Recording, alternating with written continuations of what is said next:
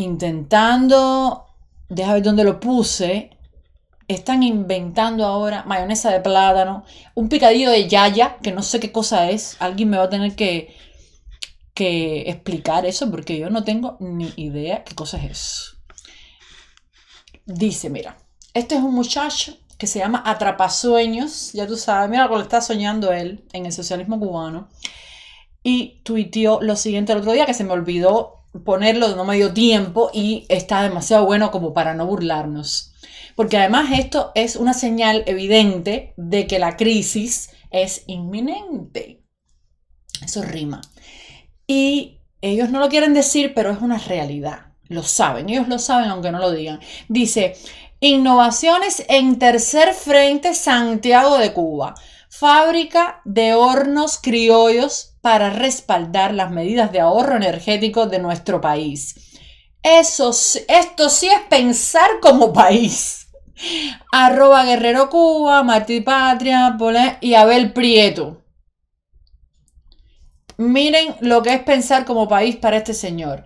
Frito de chaya con picadillo. ¿Alguien me puede explicar qué cosa es? Porque yo no tengo ni idea de, de qué cosa es el frito de chaya. O sea, no tengo ni idea. Pero nada bueno debe ser. Esto es el horno, señores. Esta es la innovación. Esto es pensar como país. Esto es continuidad. Después de 61 años de comunismo en Cuba, esto es la tecnología que ellos están ostentando como si fuera la innovación del siglo, mi vida. Miren esto. Miren esto. Gestión de desarrollo sostenible, con economía sostenible. Esta es la economía sostenible que ellos dicen que están desarrollando en Cuba. Ay, por favor. Y mira, para que no vean que no, no, me lo invento yo, lo pusieron ellos. Mayonesa de plátano burro. Debe ser que con el plátano macho no se puede hacer mayonesa, porque es macho. Imagínate, tiene que ser con el plátano burro. No puede ser con el, plátano eh, macho. Caballero, qué falta de respeto, de verdad. Qué falta de respeto es eh, esta gente.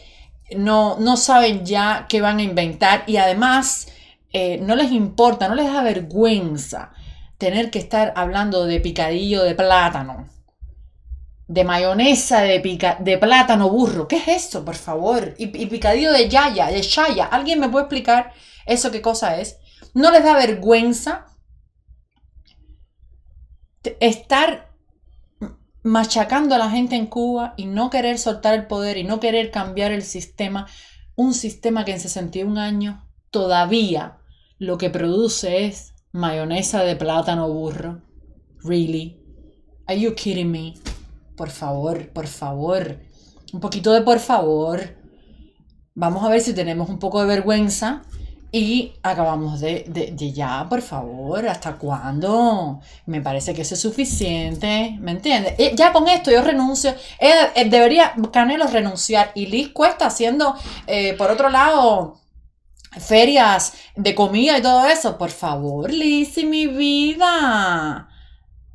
La verdad es que es una vergüenza. Debería renunciar Lizzie, Canelo y todo el mundo. El cambio es ya. Y como el cambio es ya, y esto está pasando en Santiago de Cuba, vamos a ver cuál es la realidad. Porque esto es el mundo aparte, el mundo em, que se inventan de Narnia ellos, que piensan que el cubano va a vivir eternamente con mayonesa de plátano burro.